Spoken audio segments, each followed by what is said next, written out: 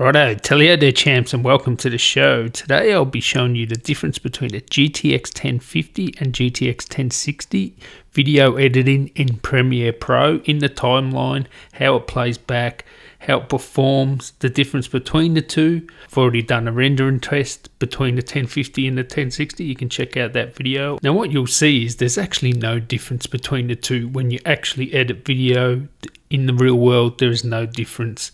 And another thing you'll notice here too is I'm playing back at full, full resolution there. So I'm not playing back at half and I never expected a laptop to be able to do full.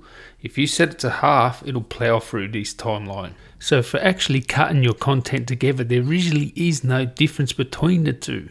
Now, when I'd done the render test, I'd done a full project. If you actually just render a, say, a five minute file, there's actually no difference in the rendering times either. But with a proper real world project, there was around a 20% difference between the two. Now, this project was actually a really heavy duty one. It had really high resolution photos, like 36 megapixel photos. Really, they should be resized down to the project. You wouldn't usually do that. So, if you were to resize these photos down to 4K size, you probably wouldn't have any issues with either the GTX 1050 or 1060 not being able to actually play through the photos. That's just one thing to note there. So let's have a look. Let's see how they both perform just in the timeline editing. Is there any difference? Well, spoiler alert, no. They both perform fantastic. And this is in laptops, of course. All right, so here we have 4K content. Let's see how it plays. So the videos in here are from Panasonic GH4. They're 24p and it's 4K, 100 megabits per second, and it's pretty much typical H.264. It's an MOV file. That's what it outputs. Let's see how it plays. Now, up here, you'll see the green, green light here. That shows you if any frames are dropping. So all this is doing now is playing the 4K content. Can it play it? And just for reference, the MacBook Pro I reviewed, it did have the AMD 455 in it, but it couldn't actually even play it back. And I have tested a 460 out now with the 4 gigabyte. It can play it back, but as soon as you start putting color corrections and LUTs on, then it slows down. Whereas this one can actually do color corrections. I'll just do a color correction. Let's play it again. As you can see, green dot, real time. I'll just add a LUT. Uh, I think I've got one on the desktop. Yep, that's a LUT. Now, as soon as I apply the LUT, it's not real time anymore, okay? It is dropping some frames, but it's still very smooth. But I stop that, and I play it again, and it's all green, it's all good to go. So just the action of applying the LUT did make it drop some frames, but it actually can play the LUT in real time too, with no frames drops, as you can see. Alright, so I'll go back a bit. So there is some color correction there. Now this is where the Mac died. Now even the 460 Mac, as soon as you applied the LUT, it just died. The 455 couldn't even actually play it back at all, just without a LUT applied. Now let's go. Right, so green there, real time. Let's go. Let's see if we can do some stuff in real time. Look at that. No frames dropping here. Color corrections on the fly. Look at that. Oh, that's pretty good. I mean, this is 4K, very compressed content, and it's doing color corrections on the fly. Fantastic. All right. So I'll just back out of those actions there. So I've taken off the color corrections now. Now let's see if it can play two 4K streams. So let's go here. Oh. Alright, so so that's really crude. But what we have there is two 4K streams. Let's see if it can play that in real time. Okay, so playing both those 4K streams, no problems. Real time, let's see do some color correcting yep okay still real time Oh, that's fantastic. That's unbelievable. All right, the fans are kicking in. It's working to do that. But look, and this is full playback here. Have a look here. This is full. Now, I never expected a laptop to be able to even put that on full ever. So it just shows you the horsepower that this actually has. And you might think the GTX 1050 isn't the most powerful graphics card in the world. It's not. But that 4 gigabytes just allows you to edit 4K content. No problem. And look, you just scrub across it. I mean, it's got color corrections applied. It just, no problem. Just scrolls like butter across it. Here I have an actual finished project and we'll see how it plays through that.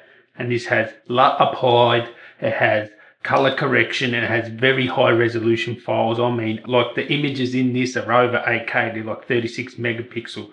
And I didn't reduce the size of them, they're about 30 megabytes each file.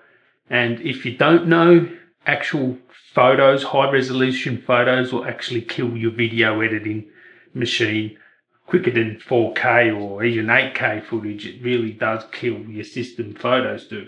All right, so let's see. This is 4K content, color correction applied, applied, and high resolution photos. Like this photo here. Look, look how smooth it scrolls. This is the GTX 1060 in this, six gigabyte, very smooth.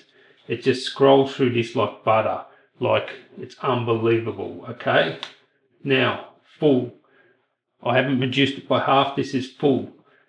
So it just scrolls through this stuff like butter. No problems. Let's try it on the XPS 15. Let's go back to home. And same project. You can see there. Like butter. Smooth. Just as smooth. It's at full so good. It just plays it back no problem. It's just so smooth. Now I couldn't do this on the last XPS 15 because it was only a two gigabyte. That's what killed it. But um, this is 4K content these are high resolution photos. It's just to scroll through this like butter with the color corrections. I'll show you how much color correction is applied. If you go to here and I remove that color correction, where is it? Uh, sorry. Let's remove that color correction.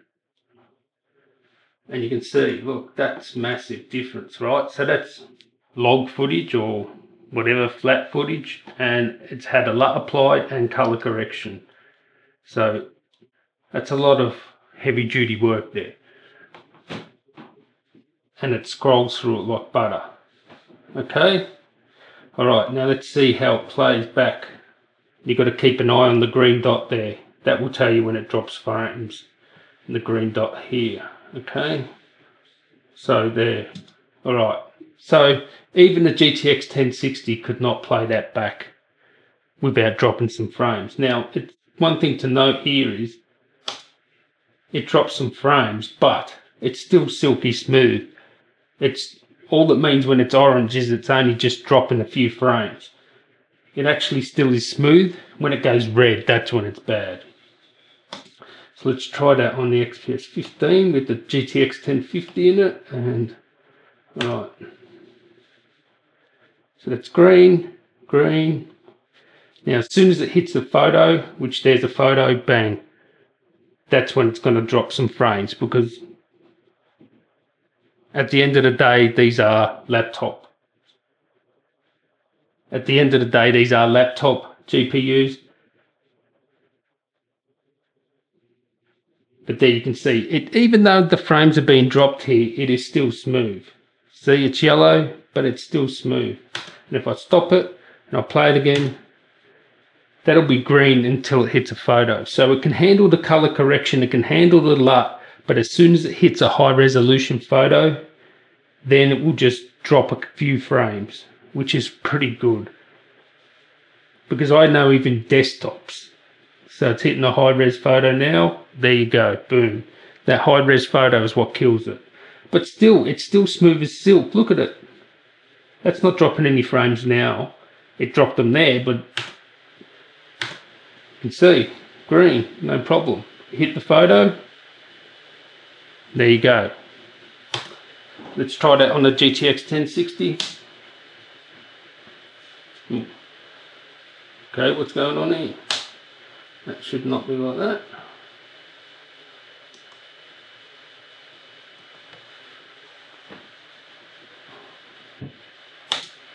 Right, green. That's how it should be. And we'll see. Right here is where the photo hits. And I remember like even my GTX 980 that used to die when I when I had when I had photos. So here we go, high resolution photo. Will it drop frames? No, see? Now that's the difference of the extra power of the GTX 1060 and the extra 2 gigabytes of RAM. It didn't actually drop frames when it hit that high resolution photo. Hits another one here, see if it drops frames. No. So that's the difference. That's the only difference I can tell when I edited. There you go, it's just dropped some frames there. Okay, obviously its memory's run out now. So in real world, when I edit, I don't put the photos until last and I don't put the color correction until last. So when I edit on both of these, GTX 1060 versus the GTX 1050, there's no difference. If this plays back things like butter, you seen it play everything only when it hit a high resolution photo did it drop some frames. Other than that, it didn't drop any frames.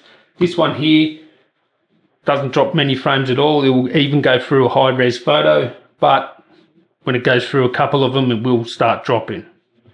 Even my Titan X drops frames after a few heavy duty high res photos. So Alright, so there you can see that the 1050 and 1060, there's virtually no difference between the two editing in the timeline. They're both fantastic. And if you actually done things right and actually resized the photos to a manageable size and then converted your footage to say Cineform or ProRes, like video editing will be like butter at full, no problems, and even if you don't do that and you just use the compressed footage and the high res photos, it's still like butter at full. Unbelievable on a laptop. So there you have it, guys. This video is useful, give me a thumbs up there. I'd like to really thank you guys for watching. I've got lots more tech content coming soon. Until next time, guys, tally ho.